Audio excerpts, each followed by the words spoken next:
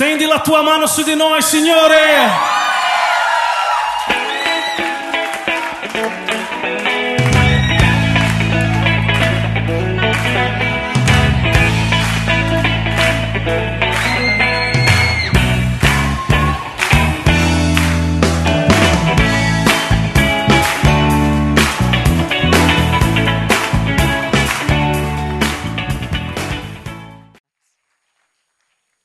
Anche Jasmine che vuole fare una testimonianza e farvi vedere un video.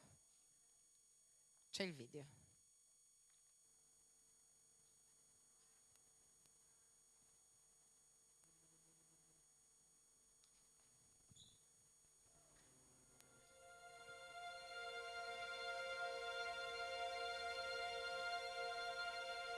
Lord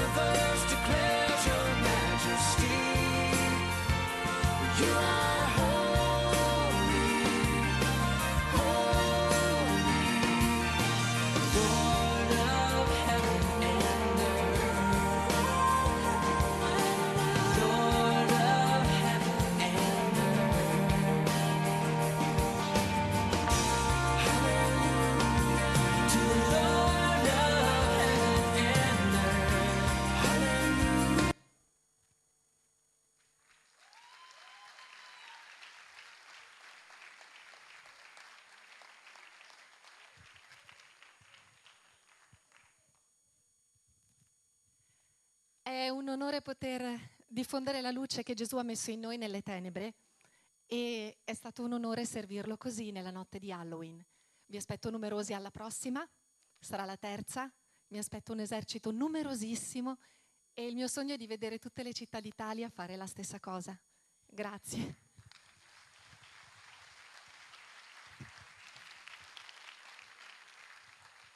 Grazie anche a Piero che ha montato le foto e il video. Buongiorno. Guarda la persona che è vicino a te e di lì. Buongiorno. È bella, è bello il giorno che il Signore ha fatto. Amen. Io e Giulia siamo appena tornati dal Brasile. Ci vedete un po'. Siamo stati in questa conferenza, un onore per noi essere una conferenza con i più grandi in assoluto ministeri che ci sono in Brasile, tutti, dal nord al sud, abbiamo predicato ho predicato con gente che ho ammirato tutta la vita, con la quale sono cresciuta, ho imparato ed ero là nello stesso luogo, è stato davvero una benedizione. Anche per Giulia abbiamo conosciuto tante, tante, tante persone, siamo certi che si sono aperte anche tante porte perché alcuni ministeri del Brasile possano benedirci e noi benedire il Brasile. Qualcosa di speciale quello che Dio sta facendo con noi, collegandoci con persone in tutto il mondo, con ministeri in tutto il mondo. Non è meraviglioso vedere l'Italia così? E Dio ci sta molto usando per questo. Quindi da ogni posto vengono qua a predicare, mi invitano ad andare là, infatti sono diventata la regina delle conferenze. Però è magnifico vedere ciò che Dio fa. Amen. È ovvio che da una parte uno è triste perché non vede tutto questo ancora nella nostra nazione. Infatti Giulia l'altro giorno in aereo diceva, mi sono accorto di essere in missione solo quando torno in Italia. Ed è vero, perché noi sentivamo delle cose assurde anche per le nostre orecchie. Un predicatore con un ministero di guarigione molto forte in Brasile, il predicatore che arriva a predicare alla mattina e dice: Ieri ero a Rio con un milione e cento persone in piazza. E noi, un milione e quanto? E o piuttosto, sì, sì, abbiamo appena incominciato questo ministero, abbiamo 1800 chiese in quattro anni. E noi, oh, solo 1800, cosa vuoi che sia? 1800 chiese in quattro anni.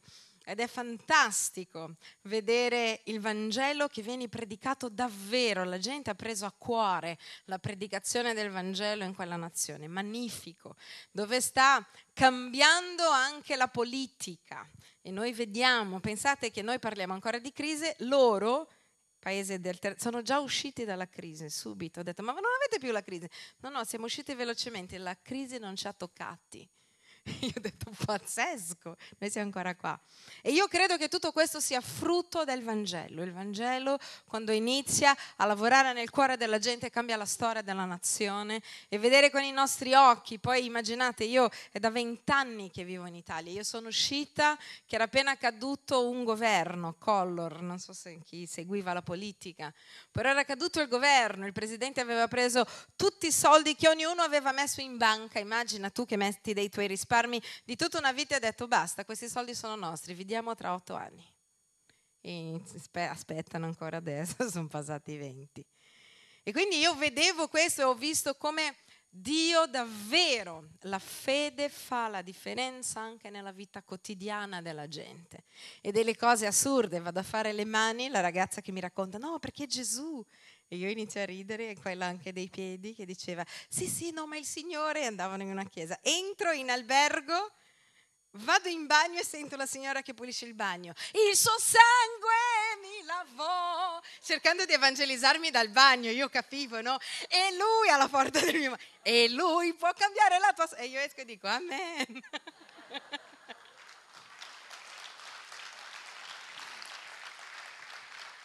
E cose magnifiche, davvero. Credo Giulia aveva preso un taxi per andare da qualche parte e questo signore che diceva sì, è vero, anch'io sono credente, sono lontano da Dio l'ha portato al culto subito ed è venuto a pregare con noi. Mia madre ha fatto un massaggio con una signora giapponese e la maggior parte dei giapponesi comunque sono buddisti di tradizione.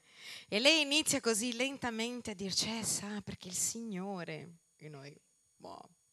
E inizia a dire, sai, avevo una sorella che stava morendo, vi porterò le foto domani. Infatti ci ha portato le foto di questa donna, immaginate per via del cortisone, delle medicine grassissime, dove i dottori avevano detto lei muore entro 24 ore, aveva la lingua fuori, ci ha fatto vedere una foto. Io gli ho detto, come mai hai fatto questa foto?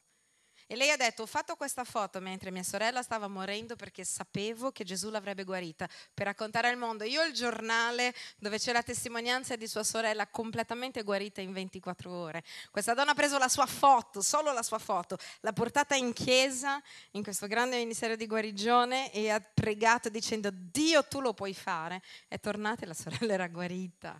E cose così, cioè, quindi trovi in ogni angolo e sei là che dice, sembra quasi di essere in cielo. E loro che ci dicevano, noi comunque stiamo pregando per un vero risveglio. Io dicevo una goccia del vostro risveglio ci fa inondare. cioè moriamo annegati nella vostra goccia.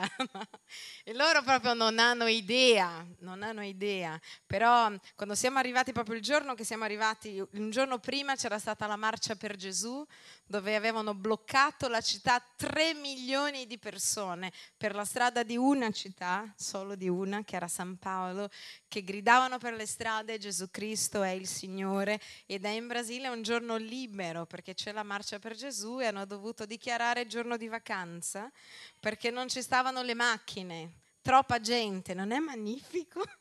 Non vi sembra che vi sto raccontando una storia che uno dice ho letto un libro? Invece no, sono cose reali cose che abbiamo visto senza troppa esagerazione. C'è stato eh, questo pastore molto carino che ha predicato e Dio lo sta usando davvero tanto, dove non imponeva neanche le mani, sapete, non pregava per la gente, niente. Insieme diceva, Signore, grazie, tu sei un buon Dio, noi ti adoriamo, guarisci il tuo popolo, che è stato guarito. Io, io, ah, ah, io. Io così, però e che cosa vediamo? Che dove c'è fede, Dio si muove. Amen. Dove c'è fede, dove c'è preghiera, dove c'è gente seria con Dio. Pensate che addirittura la maggior parte delle chiese là, non tutte al nord lo usano, non usano neanche le cellule.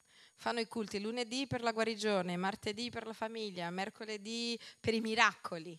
E le persone vanno a cercare Dio, non vanno a cercare un altro. Non c'è nessuno che dice dai come stai, parliamo, vediamo. È un po' una cosa molto nostra che vogliamo sempre essere curati da tutti. Io voglio parlarvi oggi di questo.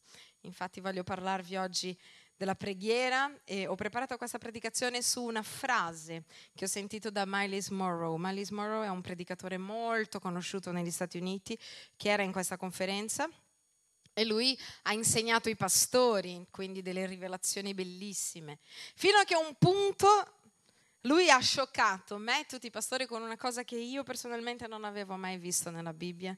E io ho detto, io predicherò su questa frase che tu hai detto. E lui ha detto, wow, fallo. E lui ci ha sfidato un giorno a trovare nella Bibbia, nei Vangeli, un solo passaggio dove Gesù ha pregato con i suoi discepoli. Ha detto così, se voi mi troverete un passaggio dove Gesù ha pregato con i suoi discepoli, io smetto di fare il predicatore. Lui è il più grande predicatore delle Bahamas. Lui praticamente consiglia i presidenti delle Bahamas. Sapete che le Bahamas quasi tutte sono credenti. E ci ha sfidato, ha detto, fatemi vedere in uno dei Vangeli Gesù che si mette a pregare con i suoi discepoli. E ci ha guardati, noi eravamo i pastori e ha detto, siete scioccati noi? Sì. E abbiamo detto, non c'è. C'è solo un momento dove loro chiedono a Gesù come pregare e noi troveremo solo dei momenti dove Gesù prega da solo e la Bibbia dice nel Vangelo di Marco che lui si alzava presto al mattino per pregare. Poi noi vediamo sempre Gesù nei mercati e i mercati aprivano alle 7, 8 come da noi. E pensate che l'alba in Palestina, lui ci spiegava che inizia alle 4. Quindi gli stessi ebrei che studiano le, la parola di Dio dicono che quando una persona dice che si alza al mattino a pregare, per loro il mattino sono le 4 del mattino, quindi Gesù pregava almeno dalle 3 alle 4 ore tutti i giorni da solo. E noi non troviamo, troviamo solo negli atti degli apostoli dove i discepoli inizieranno a pregare insieme, ma noi non troviamo mai Gesù che ha insegnato tante cose, non troviamo Gesù che dice dai ok, prendiamoci per mano adesso e preghiamo tutti insieme. E lui ci ha fatto questa domanda e ci ha detto perché? E ci ha detto perché noi non troviamo i discepoli che dicono, visto che hanno, visto Gesù risuscitare i morti, e non hanno mai detto, Signore, insegnaci a risuscitare i morti? Non è una cosa interessante questa? Perché hanno visto Gesù camminare sulle acque e non hanno detto, Signore, insegnaci a camminare sulle acque? Perché hanno visto Gesù moltiplicare i pani e i pesci e non hanno detto, Signore, insegnaci a moltiplicare i pani e i pesci? E ci ha portato questo passaggio in Luca, dove io porterò a voi, Luca, capitolo 11.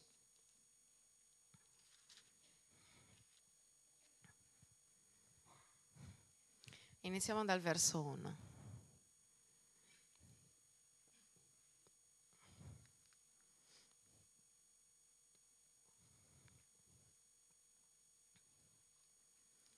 Gesù si trovava in un certo luogo a pregare e quando ebbe finito, dite com'è quando ebbe finito.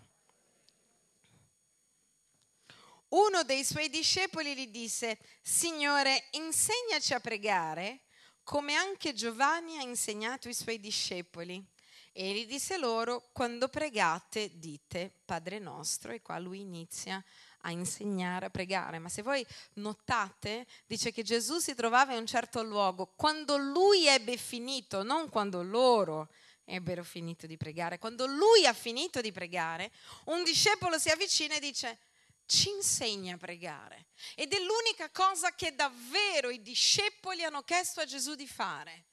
E questo per insegnarci che la preghiera in assoluto più importante della nostra vita è quella che noi facciamo soli alla presenza di Dio. Infatti in questo passaggio più avanti Gesù dirà, quando pregate entrate nella vostra camera, laddove nessuno vi vede, ma il Padre vostro vi vede, e pregate e parlate con Lui.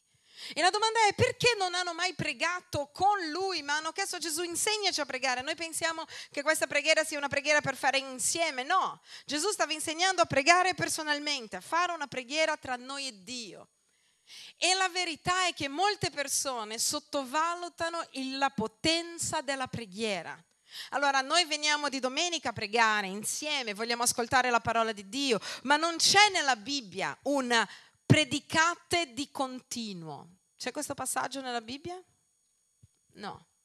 Non c'è nella Bibbia fate la lode tutte le domeniche. C'è invece lodate di continuo. Però c'è invece qualcosa dove Gesù dice pregate incessantemente.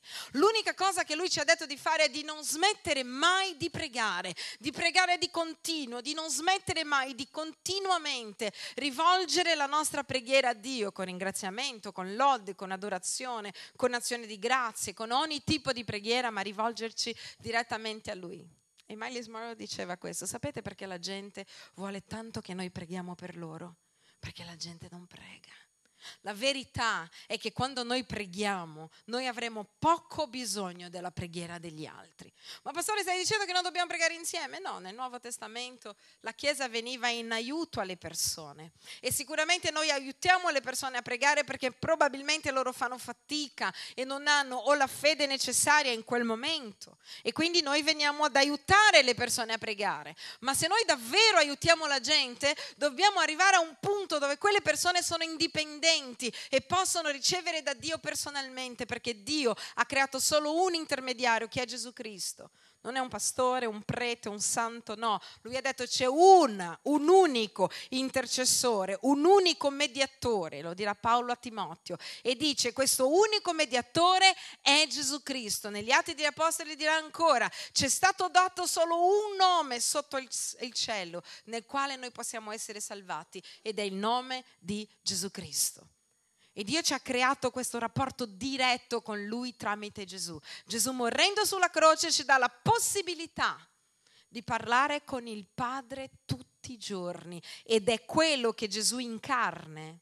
Perché voi sapete che c'è Gesù e c'è Cristo, chissà. Chissà che Cristo esisteva più di Gesù. Prima. Lo sapete?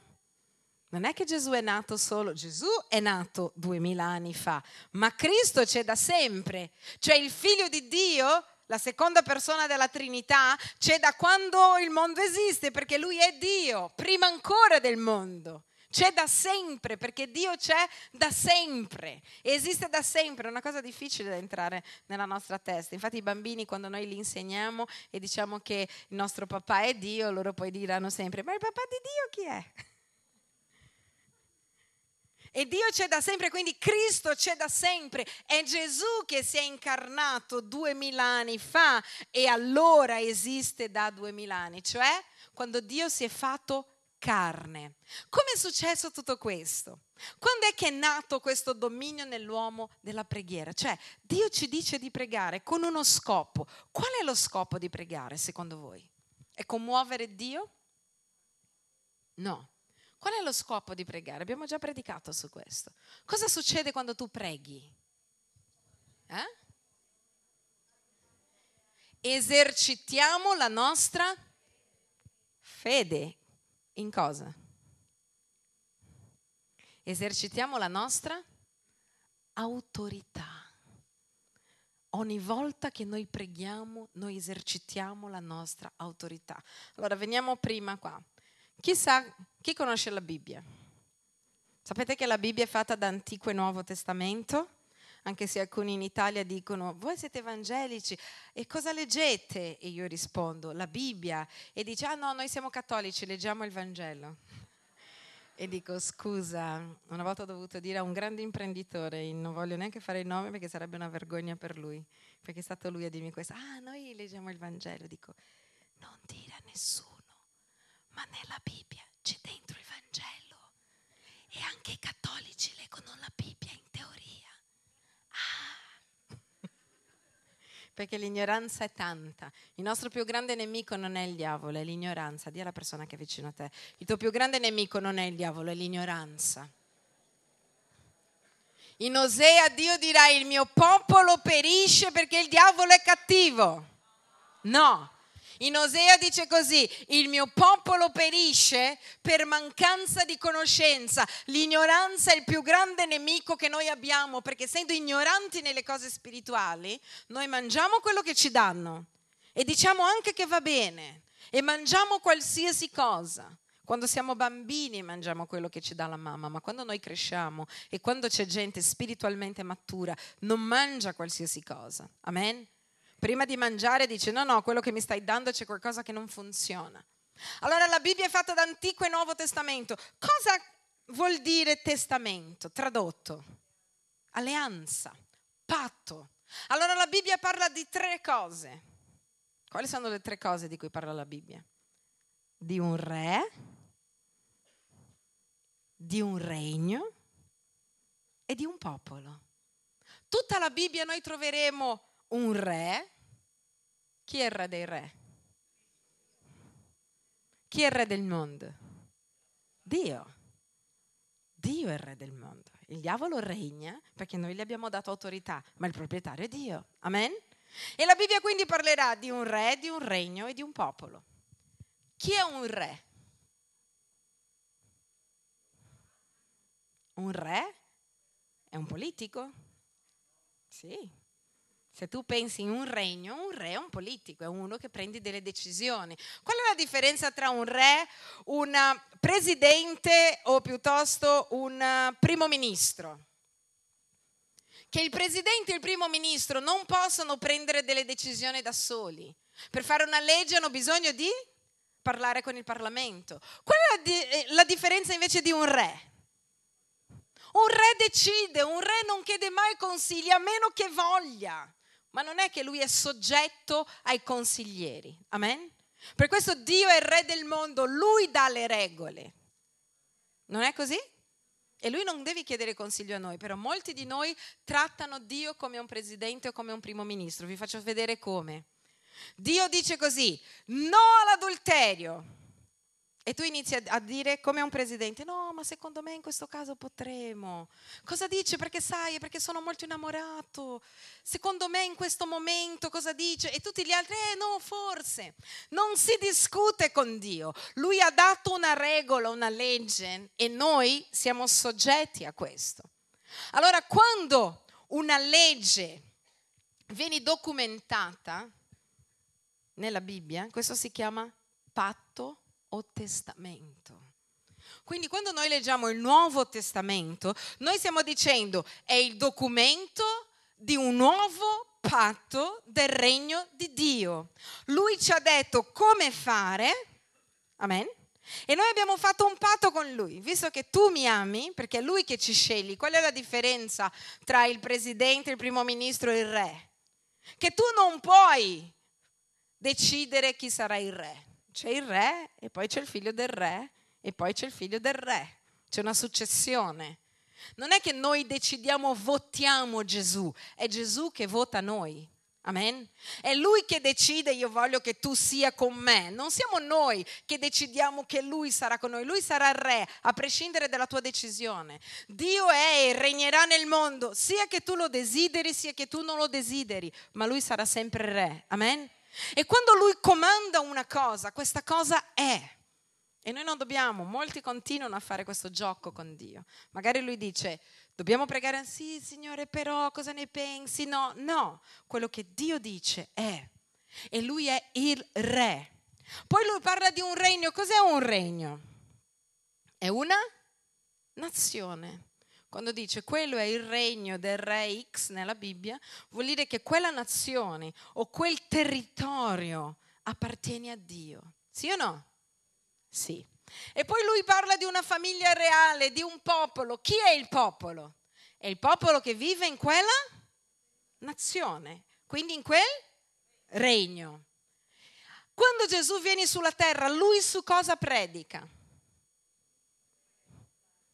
Sulla chiesa dice venite tutti in chiesa domenica mattina alle 10, ci vediamo, facciamo un po' di lode, cantiamo, ci abbracciamo, ci vogliamo bene, poi andiamo a mangiare una pizza, predicherà il pastore, amen. È così che dice? Quante volte Gesù ha parlato di chiesa nella Bibbia? Due. Poi nel Nuovo Testamento noi troviamo i discepoli di Gesù parlando della chiesa della riunione. Chiesa vuol dire solo ecclesia, che vuol dire un popolo insieme, un'assemblea che si riunisce. Però lui non ha parlato di questo, lui ha parlato di regno.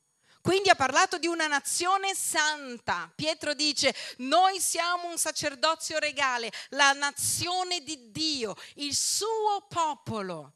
Quando noi sentiamo nell'Antico Testamento e anche nel Nuovo Dio che dice il mio popolo, lui sta parlando del popolo che vive in quel regno. Quando Paolo dice così, dice noi siamo ambasciatori di Cristo in questa terra.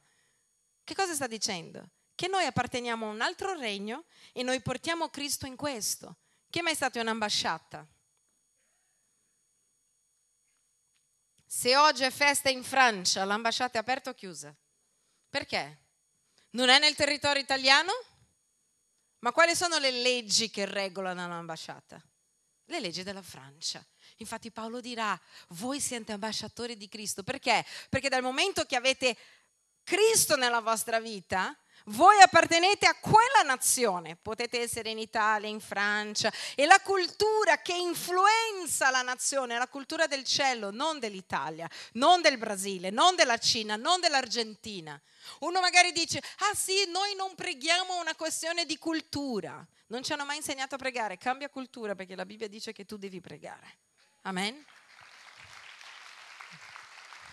Ah, lo so, è vero, magari in Sud America c'è tanta gente che ama Dio, noi è una questione di cultura. Ciccio, cambia la tua cultura, la tua cultura è la cultura del cielo. Dal momento che Cristo è entrato nella tua vita, non conta più se sei italiano. Infatti Paolo cosa dirà? Non c'è più greco, giudeo, non c'è più niente, c'è solo un popolo che ama Dio, c'è solo coloro che sono in Cristo. Punto. Non c'è più differenza, razza, infatti cosa dirà? Che verranno a lui ogni tribù, razza, non importa più da dove vieni, importa che tu vieni dal cielo perché tu sei in Cristo Gesù. Amen? Allora nel capitolo 1 della Genesi, vai là nel capitolo 1 della Genesi,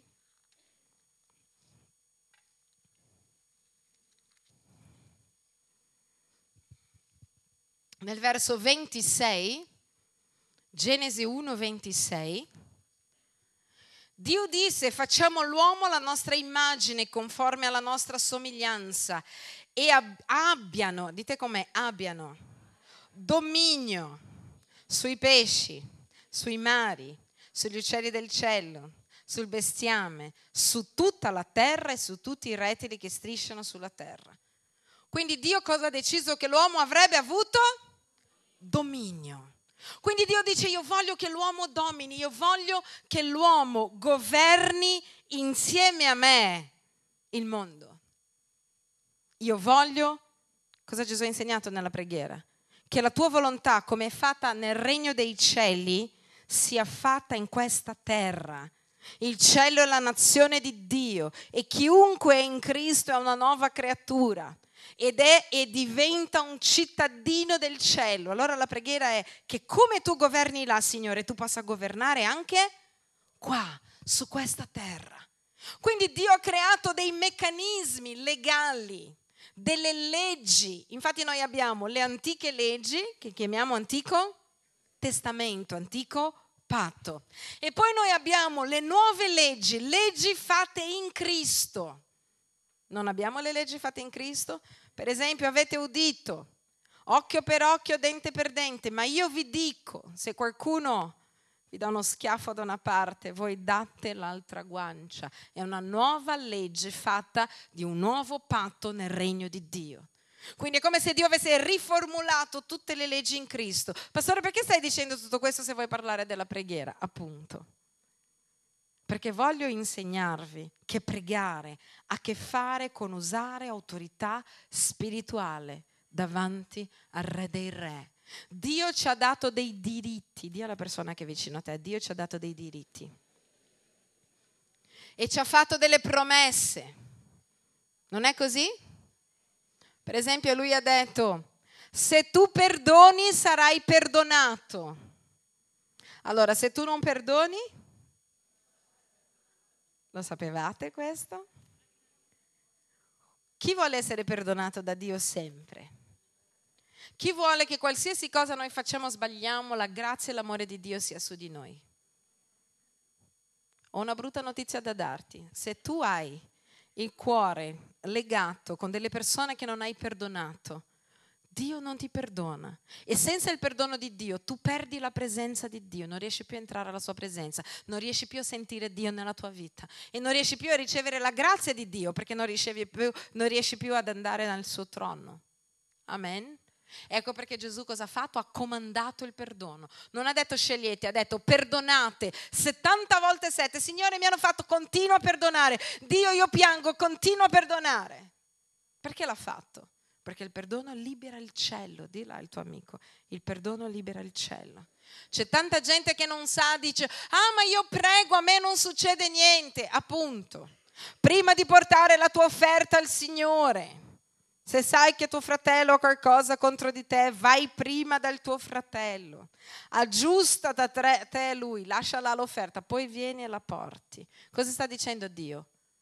Che a lui non interessa neanche della tua offerta se tu non hai perdonato tuo fratello, perché non servirà a nulla. Lui è il proprietario dell'oro e dell'argento. È vero che noi dobbiamo dare, investire nel regno di Dio, nelle cose di Dio, perché lui ci ha dato con la gratitudine che ci ha dato, ma Dio non ha bisogno dei tuoi soldi, neanche dei miei. Amen? Lui è il proprietario dell'oro e dell'argento. Ma lui dice, se tu vuoi offrirmi qualsiasi cosa, il tuo cuore, i tuoi soldi, la tua casa, la tua disponibilità, il tuo lavoro, ricordati, se non hai perdonato, io non accetto quello che tu mi porti. Questa è una regola del regno, del nuovo patto. Amen? Sì, nel nuovo patto c'è questo. Ci sono altre regole, per esempio Gesù dice che noi dobbiamo amare i nostri nemici ed è una regola che lui ci ha messo là nel nuovo patto che ha fatto con noi. Però ci sono anche dei diritti. In Cristo Gesù noi siamo stati guariti, per le sue lividure noi siamo stati guariti. È stampato là. Quindi quando io sono malato non devo piangere, ma devo alzare la mia mano e devo dire, Signore, io prendo possesso del mio diritto di guarigione nel nome di Cristo Gesù e la ricevo oggi. Amen? Guarda un altro passaggio, Matteo 16.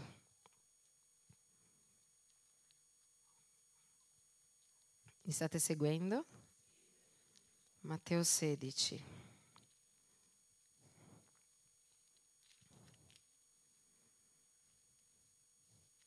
Noi troveremo qua dal verso 17. No, iniziamo dal 13, dove dice così.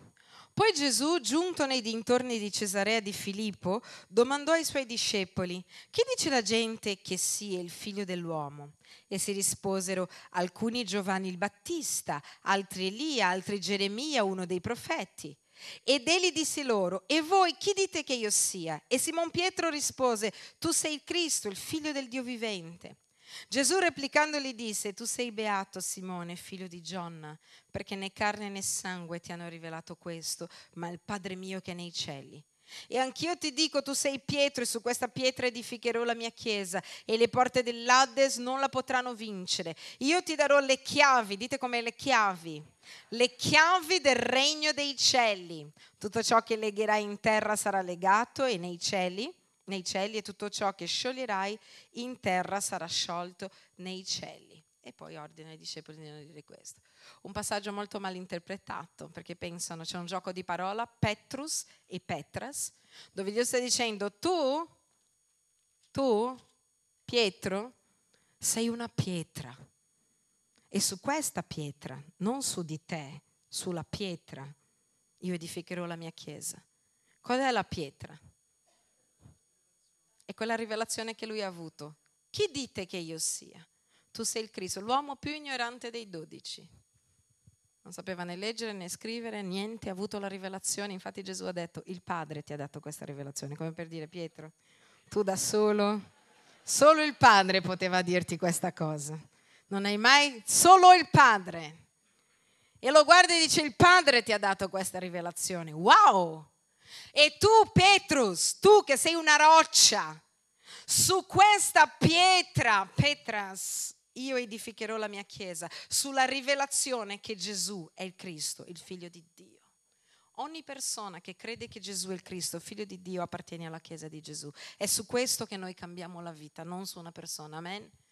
Come fai a sapere che questo è giusto? Perché nella lettera di Pietro lui dirà, lui stesso dirà, noi tutte, usando la stessa parola nel greco, siamo delle petras viventi nella Chiesa di Dio. Noi tutti siamo ognuno pietre nel tempio del Dio vivente. Amen. Però che cosa dice qua? La parte più importante. Io ti darò le chiavi del regno dei cieli. Cosa abbiamo detto che era un regno? Una nazione dove c'è un re e questo re ha un popolo. E sta parlando che questo regno inizia nei cieli. Amen? Allora, tu hai una casa. Chi ha una casa? Fittata, alcuni cercano. Se io ti do le chiavi di casa mia, ti do le chiavi di casa mia, io che cosa ti sto dando? Autorità. Infatti ha detto quello che scioglierai sarà sciolto, quello che legherai sarà legato. Noi usiamo molte volte questo per parlare dei demoni. Invece non ha a che fare con demoni, la parola è proibire e liberare. Sta dicendo Pietro, quello che tu e chiunque ha avuto questa rivelazione proibirai sulla terra, io proibirò in cielo. Guarda che grande che è questo. E quello che tu scioglierai sulla terra, io sulla terra libererò. Sapete cosa vuol dire questo? Che de- dipende da noi come sarà l'Italia. Dalle persone che hanno autorità, noi abbiamo le chiavi della casa di Dio. Cos'è che hai tu? Le chiavi del regno, della nazione. Allora io ti do le chiavi. E quando ti do le chiavi di casa mia, cosa ti sto dando? Autorità per entrare. Amen. E posso anche dirti, guarda, qualsiasi cosa tu farai in casa mia, per me va bene. Qualsiasi cosa tu deciderai di non fare, per me va bene. Che cosa ti sto dando? Autorità. Cosa ha dato Dio nelle mani della Chiesa quel giorno? Autorità, chiavi. Allora voglio farti questo esempio. Tu arrivi in casa mia e hai dimenticato le chiavi. Come fai ad entrare? Cerchi le chiavi, mi chiami. Pastore, c'è qualcun altro che ha le chiavi di casa tua? Perché io non ho le chiavi. Facciamo che tu ti metti a piangere davanti alla porta così. Apriti! Io ho già fatto dimenticando le chiavi. Non funziona. Perché le ho dimenticate? Apriti, ti prego. Si aprirà? No, questo è quello che noi facciamo molte volte nella preghiera. Noi preghiamo così, Signore, aiutaci. Ma lui non ti aiuta, perché lui ti ha dato autorità per aprire, per legare, per slegare. Altri fanno delle dolci parole. Signore, ti amo, aiutami. O fai la faccia languida, tu mi conosci. Però se tu fai questo davanti alla porta di casa mia, lei non si aprirà lo stesso. Porta, portina, amore mio, apriti, dai, che ti voglio bene. Ma avrai sempre bisogno della chiave per aprire e la chiave è autorità. Ecco perché la preghiera è un esercizio di autorità. Io entro alla presenza di Dio, prendo le chiavi che Lui mi ha dato, l'autorità, e decido nel nome di Gesù Cristo. Io cammino per le strade di questa nazione e inizio a dire, io proibisco che ci sia prostituzione nella mia nazione. Io proibisco, io non voglio, io leggo questa azione nella città dove abito. E la Bibbia sta dicendo che se la Chiesa farà questo, il cielo comanda la terra. Wow! Non è meraviglioso? Non è fantastico? E vi voglio far vedere un altro passaggio. Luca, capitolo 18.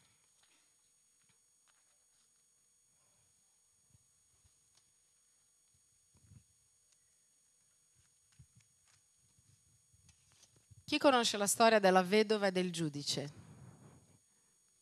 Tutti. La signora insistente. La Bibbia dice che questa donna va davanti al giudice iniquo, troverete là nel capitolo 18. Propose ancora loro una parabola per mostrare che dovevano pregare sempre e non stancarsi. Dite come pregare sempre? E non stancarsi. Perché Dio ha detto sempre non stancarsi? Perché a volte noi ci stanchiamo. Sapete perché ci stanchiamo? Perché vogliamo vincere al suono delle parole. Mentre quando noi esercitiamo la nostra autorità, esercitiamo la nostra autorità, noi sappiamo che Lui ci ascolterà. E dice così, in una certa città vi era un giudice, dite com'è giudice. Cosa fa un giudice? Cosa fa? Legifera, decide, in base a cosa? A una legge. Non può decidere da solo, può decidere da solo a casa sua, ma quando si tratta di un regno o di una causa civile o criminale, lui usa cosa? Cosa applica? La legge. In una certa città vi era un giudice che non temeva Dio e non aveva rispetto per nessuno. In quella città vi era una vedova, la quale da- andava da lui e diceva rendimi giustizia sul mio avversario. Allora, perché quella donna è andata dal giudice? Perché tu puoi andare... Allora, noi andiamo tutti insieme davanti a Palazzo Marino. Cosa andiamo a fare? A dire, beh, noi ci vo- vogliamo una chiesa. Perché lo facciamo?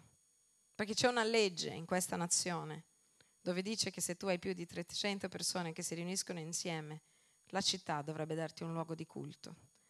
Se non diceva questo, nessuno ci andava. Con che cosa vai? Con la legge. Se tu ti metti a piangere davanti, davanti al giudice,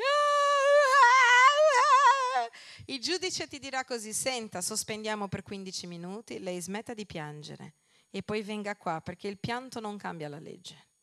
Amen? E lei va davanti al giudice e dice così, egli per qualche tempo non vuole farlo, ma poi disse fra sé, benché io non tema Dio e non abbia rispetto per nessuno, pure poiché questa vedova continua a importunarmi, le renderò giustizia. Gli ha detto, gli farò un favore? No, perché la vedova non andava là a chiedere un favore, lei andava là a chiedere un diritto. Ecco perché Gesù ha usato questa parabola. Amen? Lei andava là a chiedere un diritto e diceva, è il mio diritto che il mio figlio abbia giustizia. Ma a lui non importava, perché non temeva nessuno. E diceva, faccio giustizia che mi pare. E ha detto, le renderò giustizia. Non ha detto, gli farò un favore. Non ha detto, l'aiuterò. Non gli ha detto chiuderò un occhio, ha detto le renderò giustizia perché lei andava ogni giorno a chiedere i suoi diritti. Dio dice io vigilo sulla mia parola per portarla a compimento. Ogni volta che tu entri davanti al giusto giudice, prendi i diritti della legge, del patto del Nuovo Testamento, il patto di grazia che Dio ha fatto con noi e dichiaralo. Di Signore, tu hai detto che è il mio diritto da quando io sono in Cristo Gesù di avere prosperità. Io vengo a rivendicare e a reclamare un nuovo lavoro per me che cammino in Cristo Gesù. Amen. Non è fantastico? È inutile che tu piangi. Allora, se tu vai contro la legge, in genere cosa fanno? Ti tolgono dalla società. Se invece obbedisci alla legge, puoi avere i benefici della legge. Non pensiamo alla nostra nazione che non funziona tutto così, ma in teoria è così. Amen.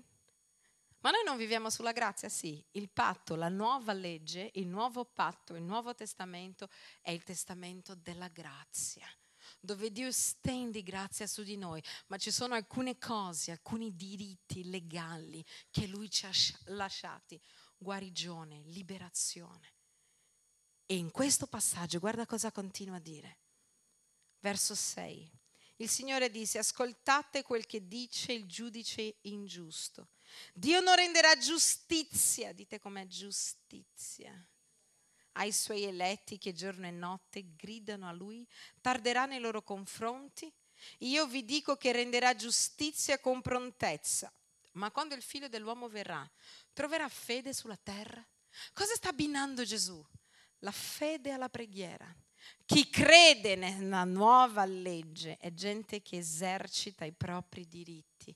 Lo esercita pregando perché lui ha detto vi faccio una parabola, vi racconto perché possiate capire che è importante pregare incessantemente.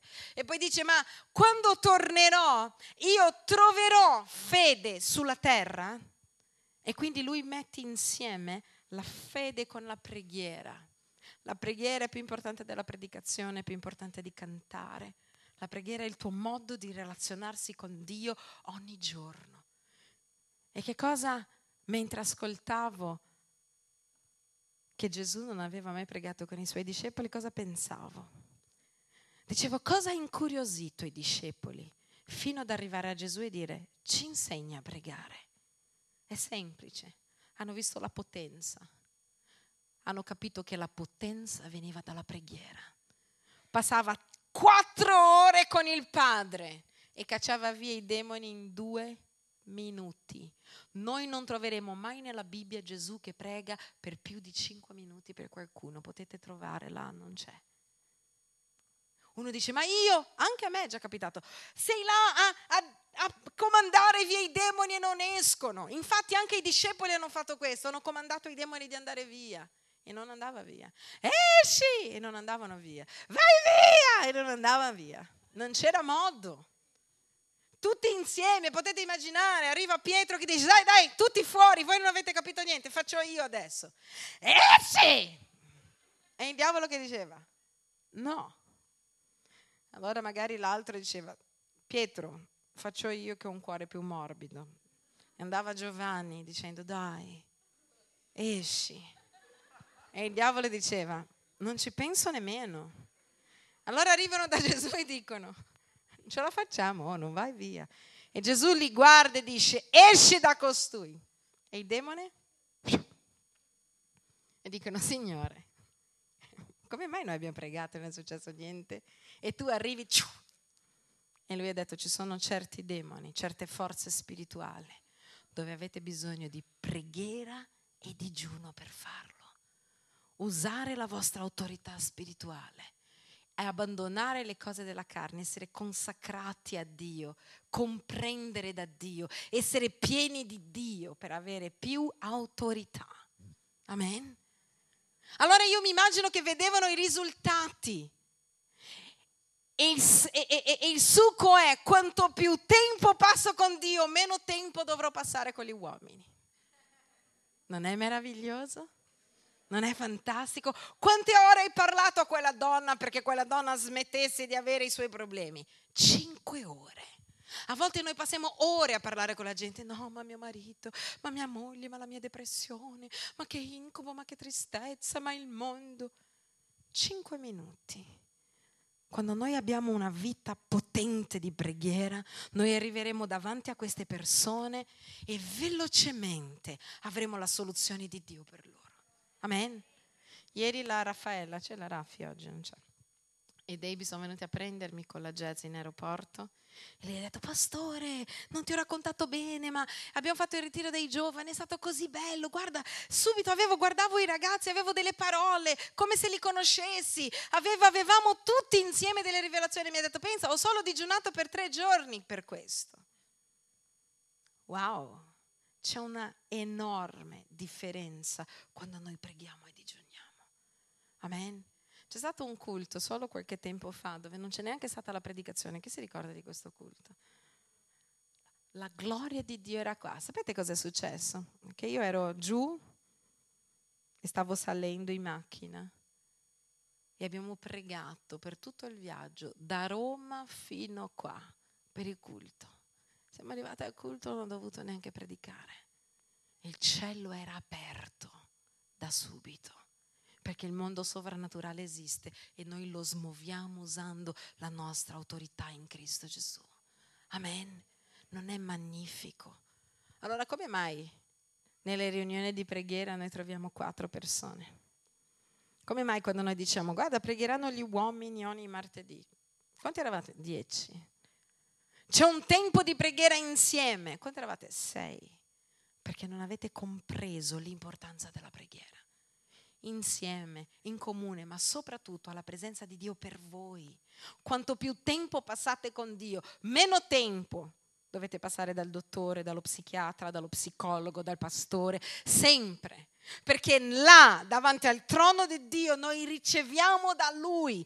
Gesù ha avuto bisogno di stare ogni giorno alla presenza di Dio. Chi siamo noi per non stare? Gesù passava ore parlando con lui. Chi siamo noi per rifiutare questo momento importante? Se noi vogliamo cambiare la storia della nostra nazione, noi dobbiamo essere uomini e donne di preghiera. Gente che conosce il suo trono, gente che lo cerca, gente che prega, che intercede, che cambia le cose con la preghiera, ma non con la preghiera del pianto, con la chiave. Amen. Signore, il mio figlio non si converte. Ma così, Dio, io prendo autorità che tu mi hai dato nel nome di Gesù.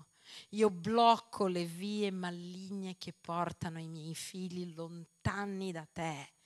Io blocco le vie mondane che succhiano l'energia dei miei figli e io li libero nel nome di Gesù per conoscere la tua potenza. Amen. Questa è preghiera. Questo è andare davanti, davanti al giudice e dire, Signore, tu mi hai detto che se io credo, se io e la mia casa crediamo, una virgola, noi saremo salvati. Noi vogliamo credere in te. Signore, tu hai detto che quando noi abbiamo un cuore stanco, oppresso e affaticato, cosa dobbiamo fare? Vedere televisione per cinque ore e rilassarci. È così che c'è scritto. Quando siete affaticati, oppressi, infelici, sedetevi davanti alla tv e guardatela. Ore, ore, ore. E ancora ore, perché il telegiornale è il vostro pastore. E il blockbuster vi aiuterà e nulla vi mancherà. E passi ore davanti alla tv. E anch'io l'ho già fatto, so com'è. Non stai bene, non hai neanche voglia. Domandatevi perché è così difficile andare alla presenza di Dio. Tu sai che devi pregare, ma dici no, ma prima faccio questo, no, prima faccio un po' di ginnastica, no, prima vado di là. Perché è così difficile pregare? Non è facile. Per arrivare fino al trono di Dio ti succede di ogni e magari ti viene in mente così, no, leggi un libro. Eh sì, meglio, meglio, perché nel libro Dio mi parlerà nel libro. Allora leggi e non ti ha detto niente. E poi tu dici, eh, dovrei pregare. No, no, no, no, no. Chiama la tua amica, digli di pregare con te insieme al telefono. Allora preghiamo, ti senti un po' meglio, però non è passato lo stesso. Allora dai, leggi, fai altro. Però solo quando tu andrai là, ginocchia per terra, e dirai, Dio, sto da cane, aiutami. D'un tratto il tuo cuore inizierà a cambiare perché è Dio che cambia la storia dell'uomo. Non è il libro, non è il cugino, non è l'amico, tutta brava gente che ti amano, sicuramente ti vogliono bene, ma non sono Dio. La potenza della guarigione è in Lui per ogni cosa. Quindi tu prendi i tuoi diritti del regno e vai alla sua presenza. Amen. Guarda che cosa magnifica. Dio ha dato l'autorità all'uomo, dite come all'uomo.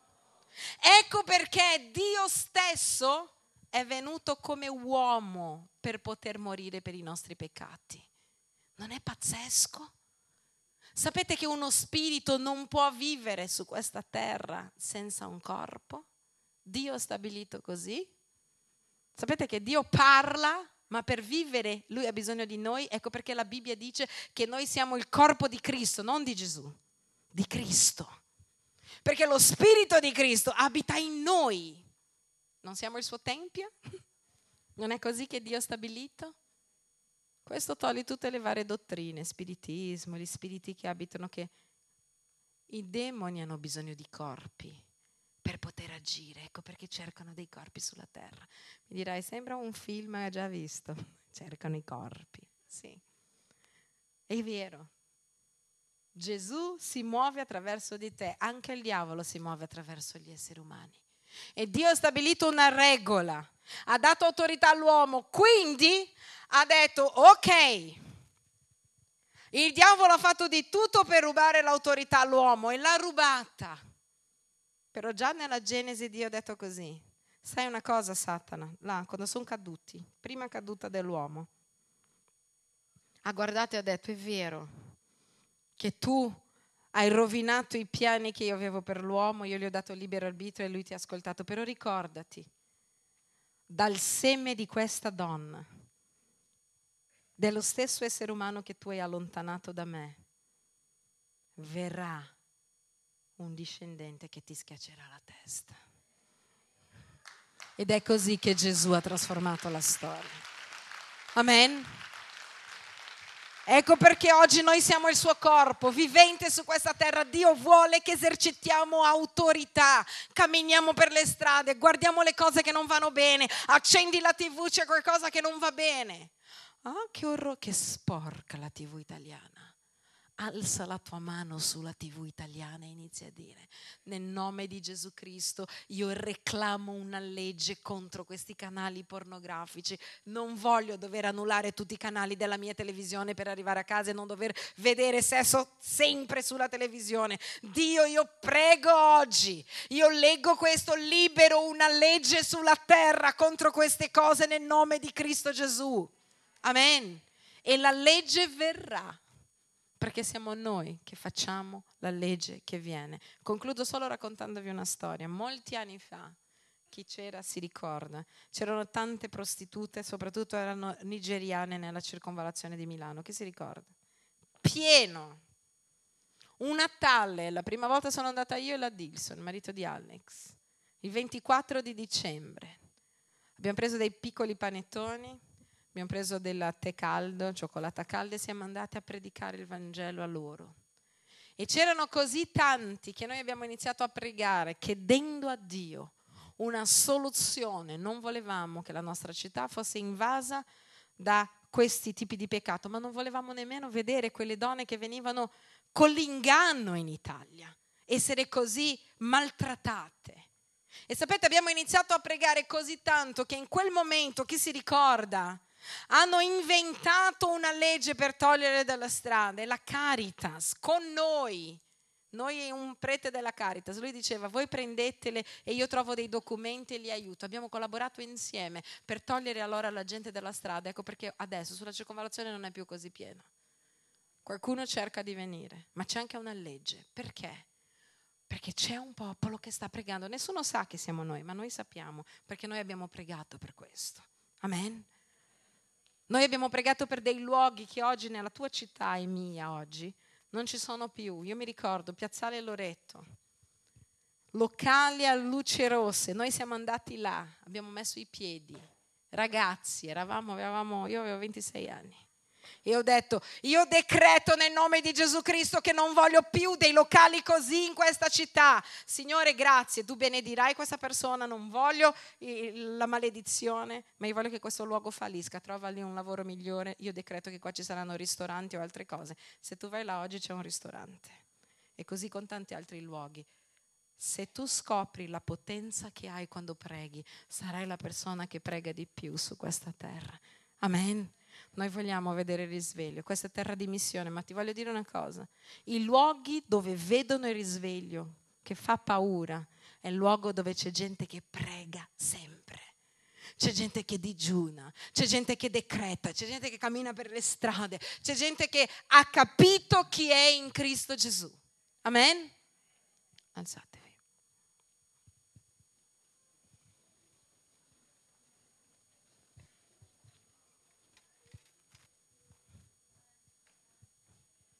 Chissà chi è. Dì alla persona che è vicino a te, tu chi sei? Si chiama l'identità del credente. Tu chi sei? Dì alla persona che è vicino a te, ma tu chi sei? Chi sei? Qual è la risposta? Qual è la risposta? Io sono figlio del Dio vivente, rinato in Cristo Gesù. Ho il diritto all'autorità di Dio sulla terra. Lui mi ha detto di andare in giro per il mondo e quando vado mi ha detto di predicare il Vangelo ad ogni creatura. Dice che chi crederà sarà salvato e chi non crederà sarà condannato. Mi ha detto di imporre le mani sugli ammalati perché guariscono. Mi ha detto che parleremo lingue nuove, che neanche il veleno avrà dominio su di noi. Io sono figlio del Dio della Bibbia. Amen. Questo è cristianesimo, indipendente di qualsiasi fede uno stia professando. Il cristianesimo in generale, della Bibbia. Ogni cristiano rinato in Cristo Gesù, la potenza è già su di noi. Ogni cristiano rinato in Cristo Gesù ha questi diritti e anche questa potenza. Amen. Però usa le tue chiavi. E quando non ce l'hai più, quando ti sei dimenticato come aprire, cercale. Vai nella Bibbia, che è il portachiave di Dio, e inizia a leggerla e dire, vediamo dove sono le chiavi per l'autorità, vediamo dove sono le chiavi per aprire le porte al lavoro perché non ho lavoro in questo momento. Vediamo dove sono le chiavi per la guarigione. Ho perso le chiavi della guarigione. Qualcuno chiavi- ha visto le chiavi della guarigione? Uno dice, sì, la Bibbia dice così, che tu hai diritto in lui di ricevere il suo miracolo. Amen. Me la presti un attimo? E apri le chiavi del regno, nel regno di Dio. La Bibbia ci dirà che il regno di Dio non è fatto solo di cibo, di bevande, ma è fatto di grazia, gioia, benedizione, pace. Vivere in Dio è così. Alleluia. Adesso noi vogliamo fare due cose. La prima, pregare e iniziare a usare la nostra chiave. Amen. È vero che mi puoi dire, ah, ma io ho usato la chiave e non ho aperto la porta, ho cercato di usare quella là. Dio te l'ha data e tu la usi. E dopo Dio nella sua casa decide quello che puoi fare e quello che non puoi fare. Ma alcune cose lui ha già detto che possiamo fare. Amen. Ha detto, lega, proibisce e libera quello che puoi e vuoi. Noi siamo un popolo meraviglioso, non solo noi che siamo qua, eh?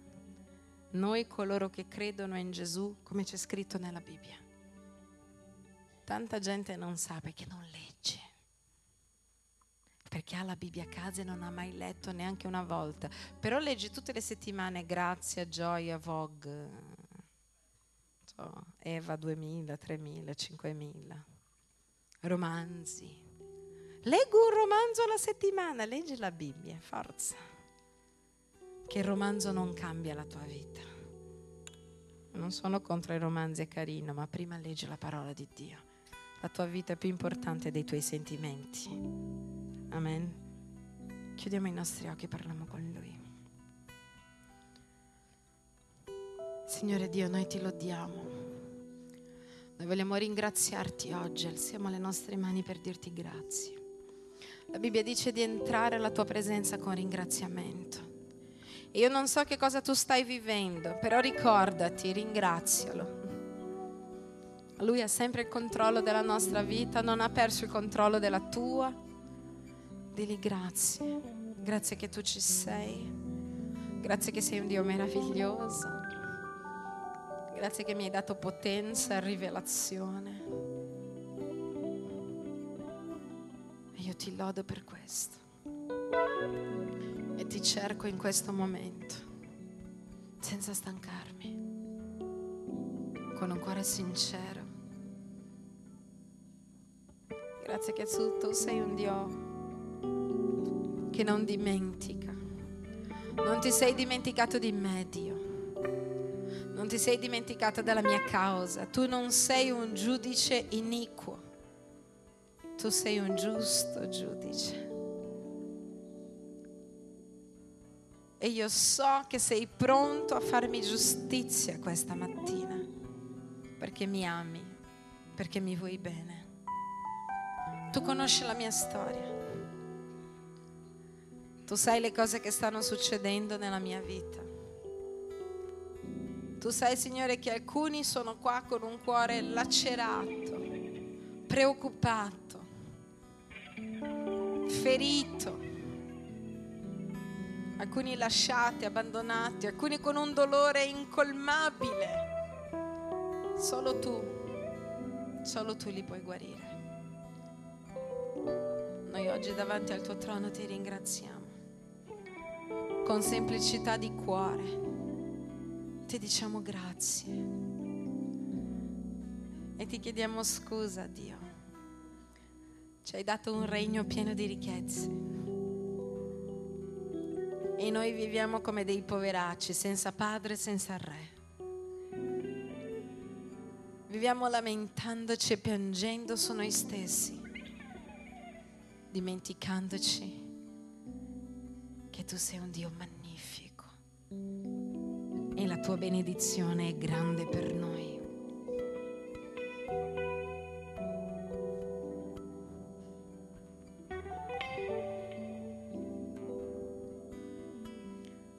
Qua per adorarti. Tu conosci la nostra storia. Tu conosci anche tutte le nostre debolezze. E noi non vogliamo venire meno, Signore, anche se a volte ci capita. Vogliamo tenere gli occhi in cielo e ricordarci della potenza che hai messo nelle nostre mani. Ma alcune volte siamo confusi e ti chiediamo scusa, perché nel momento in cui dobbiamo usare fede, nel momento in cui è il momento di credere davvero in te e sapere che tu non dimentichi, non abbandoni, a volte ci sentiamo così e veniamo meno e ci domandiamo se davvero stai pensando a noi. Scusaci perché molte volte ci arrabbiamo con te, mentre non c'entri niente. Siamo noi, la nostra carne, la nostra mancanza di fede, che permettiamo al diavolo di giocare con la nostra vita. Ma ti chiediamo perdono, Dio. Dobbiamo aggiustare la nostra vita davanti a te. Continuiamo a dare delle scuse, leggiamo la tua parola, diciamo che è stata scritta duemila anni fa per agire come vogliamo. Ma dentro di noi noi sappiamo che tu dici la verità, perché tu sei la verità.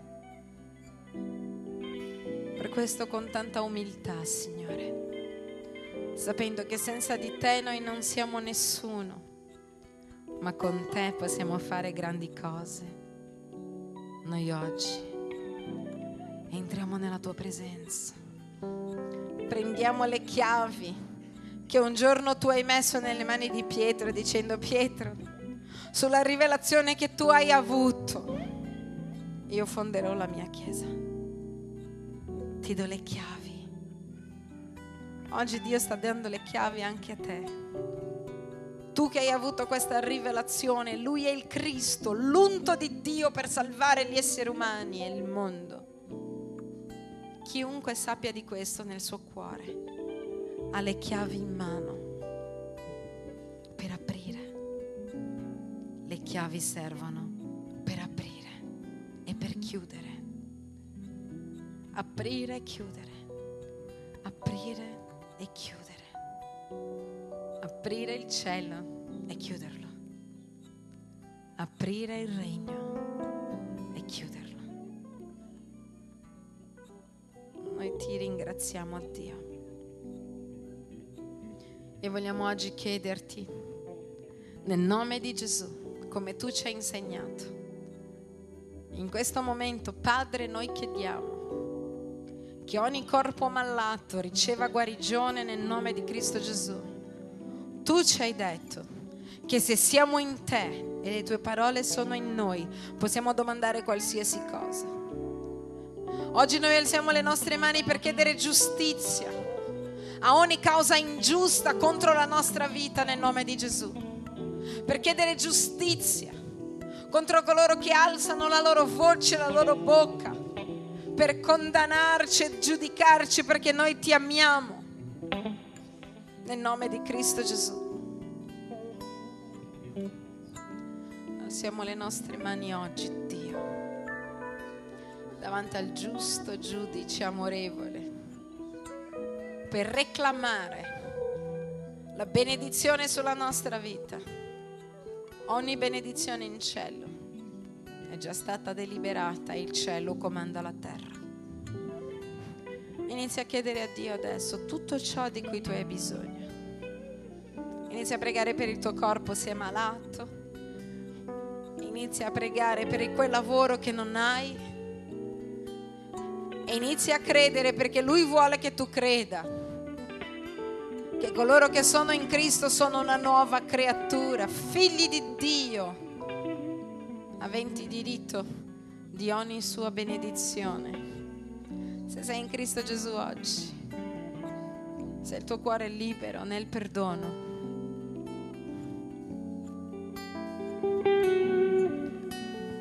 La Bibbia dice cerca il suo regno e tutto il resto arriverà. Cerca Lui, la sua legge, la sua grazia. Inizia a pregare per te stesso oggi nel nome di Gesù.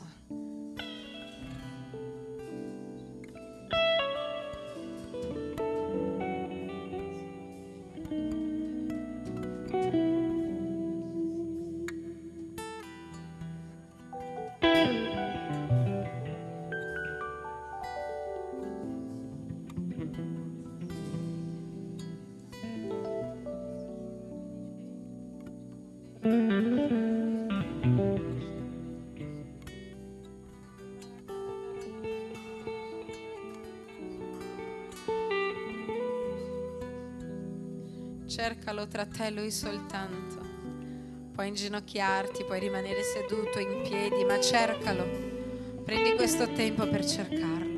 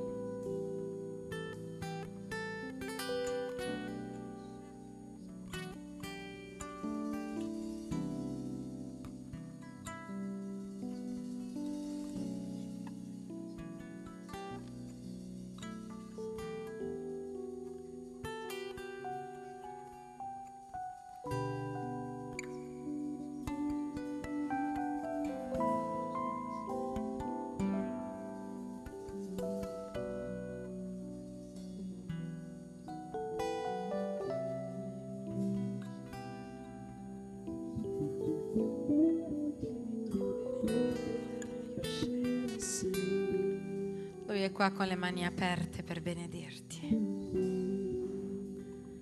Alza le tue mani e ricevi.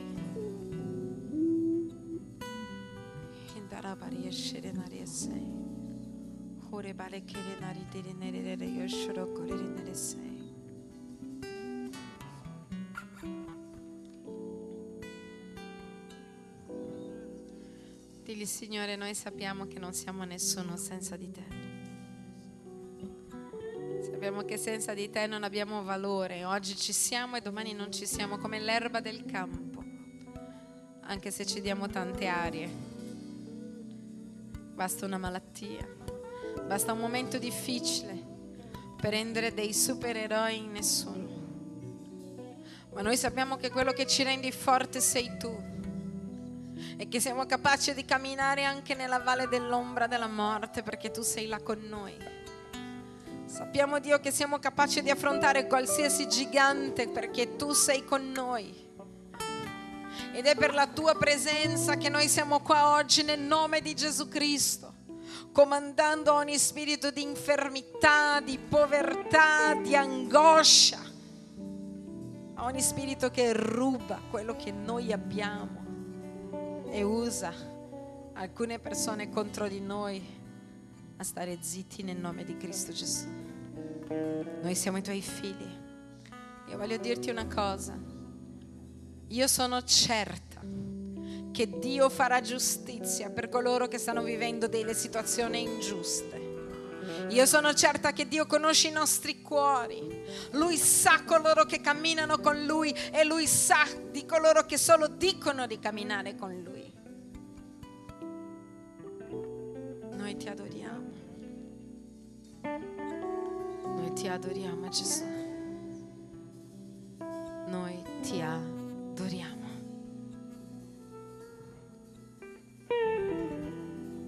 Gli ubbidienti nel regno mangiano i frutti migliori della terra. Isaia 1:18. Tutto ciò che c'è di meglio in Italia, Dio ha preparato per gli ubbidienti. Sapete cosa ho notato essendo in Brasile e ascoltando le predicazioni?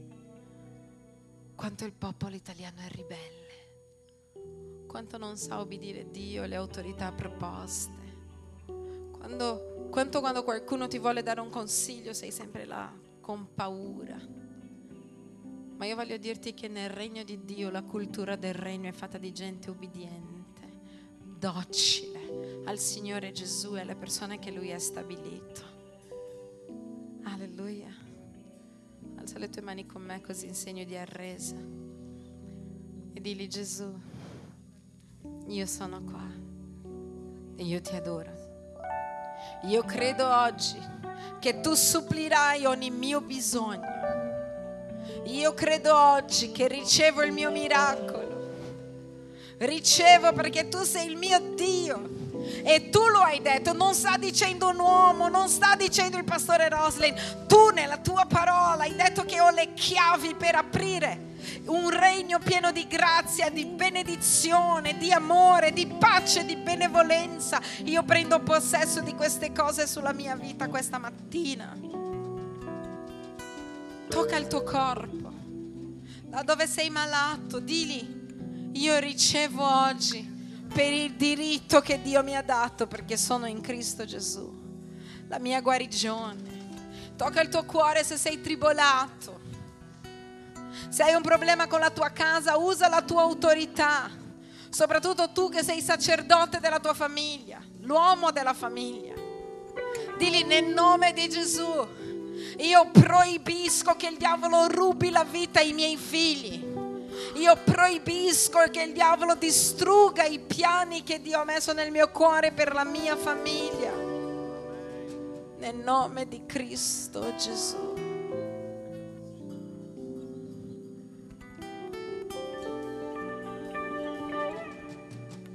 Inizia a dire io ricevo la tua guarigione, Signore. Ricevo un cuore libero, ricevo una mente libera. Vado a casa con la mia certezza che tu farai giustizia per me. Ricevo oggi quel lavoro che non riesco ad avere. Io ricevo oggi, Signore, io credo che durante questa settimana, perché sto pregando, perché ti sto cercando, io già riceverò buone notizie anche in tempo di crisi, perché tu hai preparato una terra di Goshen per me, una terra dove sono protetto dalla maledizione del mondo. Nel nome di Gesù. Dili, Dio, io e la mia casa ti serviremo. Io proteggo i miei figli, proteggo mia moglie, proteggo l'economia della mia famiglia. Io mi alzo con l'autorità del nome di Gesù e proteggo l'economia della mia famiglia. Non aspettare che le cose succedano. Decreta che succederanno nel nome di Gesù.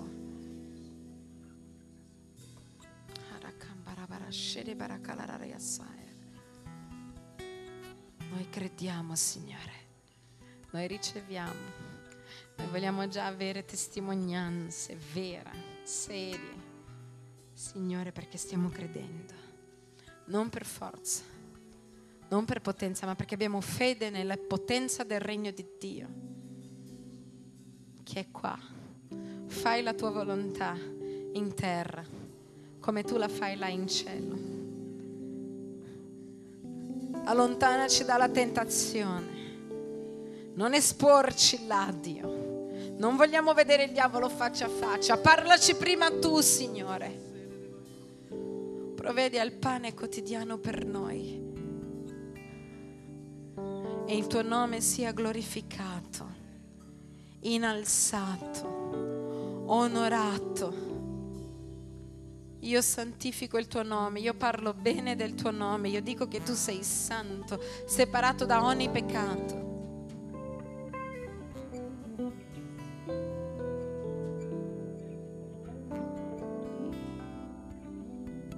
Perché tu hai il regno, tu hai la gloria, per sempre. È un onore per noi essere in questo regno. È un onore per noi appartenere a te, Signore Dio. Grazie che tu ci hai scelti e noi abbiamo accettato. Ma lui ha dato diritto di diventare figli. Giovanni capitolo 1 verso 12, solo a coloro che lo hanno accettato. Per questo ti invito oggi, se tu sei qua oggi per la prima volta, se sei già venuto altre volte e non hai mai accettato Cristo nella tua vita, ti invito oggi a venire qua davanti ad accettarlo. Velocemente. Accettare Dio non vuol dire, ma io credo già, anche il diavolo crede, questo non fa di lui un credente. Non vuol dire sapere che Dio esiste. Vuol dire, Signore, io accetto che tu entri nella mia vita, che tu cambi la mia storia, che tu partecipi della mia vita in tutto, non solo nella Pasqua, nel Natale o quando hai bisogno. Io accetto che tu partecipi all'educazione dei miei figli, alla mia vita economica. Io accetto che tu partecipi, che tu sia con me in tutto quello che faccio, che ho. Se tu non hai mai fatto una preghiera così, vieni qua davanti oggi, noi vogliamo pregare per te. Vogliamo pregare perché tu diventi figlio di Dio, figli di Dio si diventa accettando Gesù. Lui ha dato il diritto, puoi aprire la tua Bibbia se hai una, se no puoi chiedere in prestito. Giovanni capitolo 1 verso 12, Vangelo di Giovanni, ha dato il diritto di diventare figli solo a coloro che l'hanno accettato, che non sono nati da carne, ma dal sangue di Gesù, dallo Spirito di Dio. Lui ha lasciato il suo sangue per noi. Questo se c'è qualcuno che non ha mai fatto una preghiera così, se tu non hai mai fatto una preghiera dicendo io voglio che tu entri nella mia storia, esci dal tuo posto e vieni qua davanti a permettere a Dio di entrare nella tua storia davvero. Ah, ma lui non entra lo stesso, no. Lui ti ha dato il permesso, ti ha dato libertà. Ecco perché la Bibbia dice io sono la porta e busso. Se tu apri io entro. Se tu apri io entro. Se tu apri io entro. Se tu apri io entro. Per questo esci dal tuo posto e apri questa porta perché lui entri oggi. Invitalo ad essere il Signore della tua vita. Permettili di essere il proprietario della tua esistenza e della tua storia. Non ci interessa quello che dicono le persone. Una buona notizia per te, davanti a Dio ti presenterai da solo. Non ci sarà l'amico che ti ha portato qua, il marito, il cugino. Per questo non badare a quello che pensano gli altri. L'importante è quello che pensi tu e quello che Dio fa nel tuo cuore. La fede è qualcosa di molto personale, è molto intimo. Non si fa insieme. Quando sei nel tuo matrimonio fai le cose insieme, condividi, hai scelto di stare insieme. Ma con Dio è una cosa tra noi e Lui. Ognuno si presenterà da soli. Non potrai dire, ah ma sai, avevo vergogna, avevo mio cugino che mi prendeva in giro. Guarda tuo cugino e digli, puoi anche prendermi in giro. Ma io oggi apro le porte del mio cuore al regno dei cieli e il regno dei cieli entrerà nel mio cuore e io vivrò una nuova vita perché io voglio vivere con Dio. Non mi interessa che cosa di- dice il mondo. Con il mondo noi abbiamo vissuto tutta la vita e sappiamo che non funziona. Lo sappiamo bene. Tutti noi sappiamo bene che non funziona. Adesso apri il tuo cuore, dai la tua vita a Lui. Permetti a Gesù di fare la differenza nella tua storia. Non è mai troppo tardi. E oggi è il giorno che Dio ha fatto per noi. Chiudiamo i nostri occhi insieme. Voglio solo dirti questo. Non aspettare un'altra volta. Vieni oggi. La Bibbia dice oggi è il giorno della salvezza.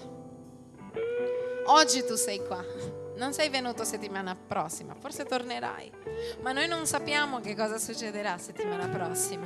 Approfitta oggi che tu sei qua ad avere il coraggio di dire Dio cambia la mia storia e Lui lo farà perché Lui lo vuole fare. Io oggi sono qua perché un giorno ho fatto questa decisione. La prima volta che sono entrata in un luogo come questo ero dietro una colonna a ridere e dicevo, questi qua sono strani, alzano le mani, dicono che la Bibbia dice, sono fuori. Quella è stata l'ultima volta che ho detto quello. Perché sapete, Dio è molto simpatico. Io me lo vedo che guarda e dice, ah sì? Allora diventerai capo di loro. Ah sì? Allora sarai più folle di loro. Perché io confondo la sapienza dei sapienti. Quello che per te è follia, per me è vita eterna. Quello stesso Dio ha cambiato la mia vita. E io non ho riso più, l'ho amato con tutto il cuore. Chiudiamo i nostri occhi tutti insieme e facciamo questa preghiera prima di andare a casa. È un momento molto importante, molto serio. Stiamo decidendo di cambiare la vita. Wow. Signore Gesù, ripetilo là nel tuo cuore o a voce alta se tu desideri. Signore Gesù, io ti chiedo perdono per il mio peccato e io ti invito oggi a entrare nella mia vita. Io apro quella porta che solo io posso aprire, la porta della mia libertà e ti accetto. Accetto che tu viva nella mia vita. Accetto che tu interferisca nella mia vita. Accetto che tu diventi il mio Dio e io il tuo figlio. Io oggi ti consacro la mia vita. Ho bisogno di te. Ho bisogno del tuo regno. Ho bisogno dei tuoi miracoli. E io oggi te li chiedo. Chiedo tutta la grazia, tutto quello che mi appartiene con te. Cambia la storia della mia vita. Togli la solitudine che consuma ogni essere umano. Guariscimi. Io credo che duemila anni fa su una croce tu sei morto. Hai preso sul tuo corpo tutta la mia malattia, la mia maledizione, la mia povertà. L'hai distrutta sulla croce. E oggi tu vivi. Io credo che sei risorto e che sei il mio re. Io oggi dichiaro che tu sei il mio re.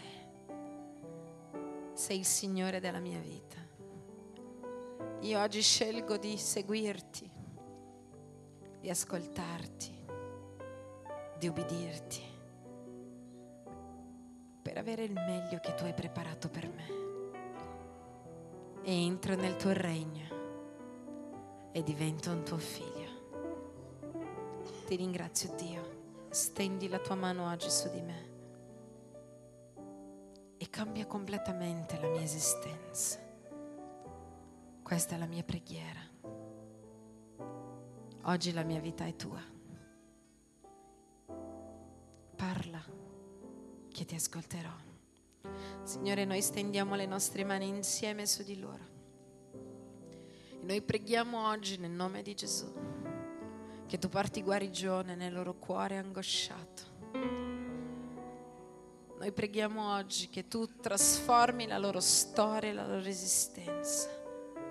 Noi preghiamo oggi che la tua presenza sia sovrannaturale nel loro cuore e ti chiediamo di liberarli da tutto quello che è un legame per loro. Da oggi riempili di te nel nome di Gesù. Alleluia, date un abbraccio a queste persone che sono qua vicino.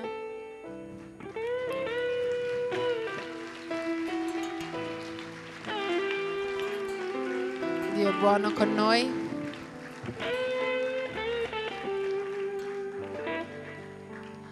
Adesso voi che siete venuti qua davanti potete andare con l'Adriana. Adriana è quella ragazza là dietro, alza la mano Adri.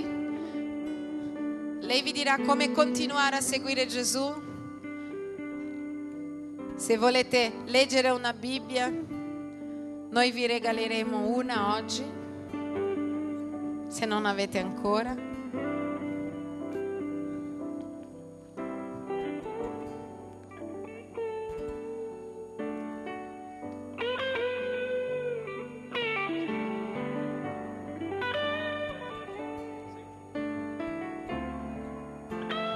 Alziamoci tutti insieme e diciamo così, grazie Signore, perché tu sei il mio Dio, sei il mio pastore e io non manco di nulla. Io ti adoro, prendo le mie chiavi e avrò sempre le mie chiavi con me per aprire tutte le porte nel nome di Cristo Gesù. Io credo che la tua potenza è su di me e che per fede io prendo possesso di tutto ciò che mi appartiene nel regno di Dio. Decreto che sono libero, guarito, prospero e pieno di te nel nome di Cristo Gesù. Alleluia, saluta la persona che è vicino a te.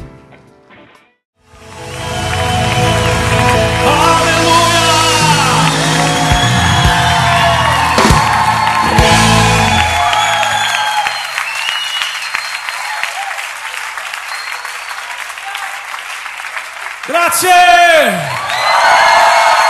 Grazie a Dio! Grazie a voi. Grazie di cuore.